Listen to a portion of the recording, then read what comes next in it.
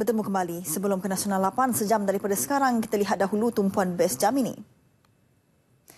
440,682 calon berdaftar untuk peperiksaan sijil perjalanan Malaysia SPM yang berlangsung di 3,501 pusat peperiksaan seluruh negara. Calon menduduki peperiksaan Bahasa Melayu kertas 1 dan 2 serta peperiksaan pendidikan seni visual teori seni kertas 1 hari ini. 34,146 petugas terlibat bagi memastikan peperiksaan berjalan lancar. SPM 2015 dijadual berakhir 8 Disember ini.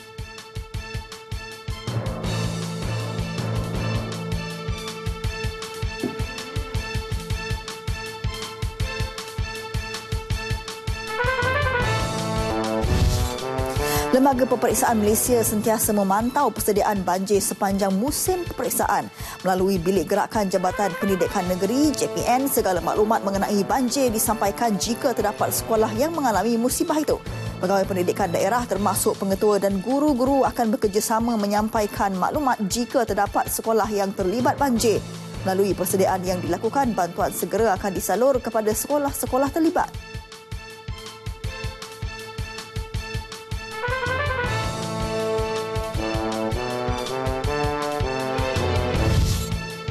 8 suspek yang disyaki terbabit dengan kumpulan pengganas ditahan dalam satu operasi serentak di Selangor, Perak dan Johor. Enam daripadanya menganggotai kumpulan Takzim Al-Qaeda Malaysia, manakala dua lagi dipercayai mempunyai kaitan dengan kumpulan pengganas IS. Kesemua suspek merupakan rakyat Malaysia berusia antara 22 hingga 36 tahun. Dua suspek yang ditahan adalah penjawat awam.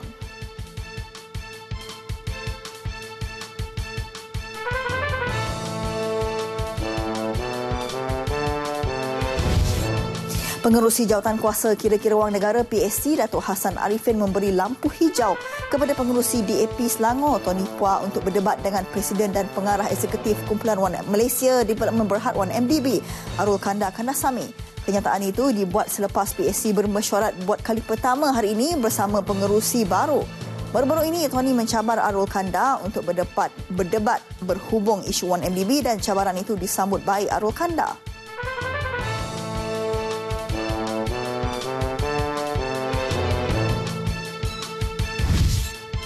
Operasi mencari dan menyelamat guru besar Sekolah Kebangsaan Taman Keramat 1 Kuala Lumpur yang hilang di sekitar perkampungan orang asli Buluh Telur Kuala Kubu baru dipetingkat.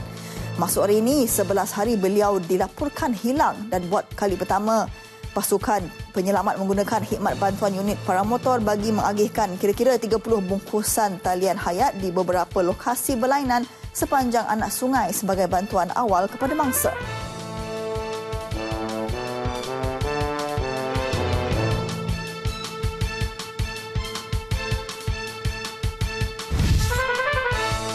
Peniaga yang gagal mematuhi piawaian kebersihan akan dibatalkan lesen perniagaan. Dasar baru itu sedia dikaji Kerajaan Negeri Sembilan dan dijangka dilaksana tahun depan. Ia akan dibentangkan dalam mesyuarat Kerajaan Negeri. Perkara itu dipandang serius kerana semua premis bertanggungjawab terhadap kebersihan di kawasan sekitar perniagaan mereka.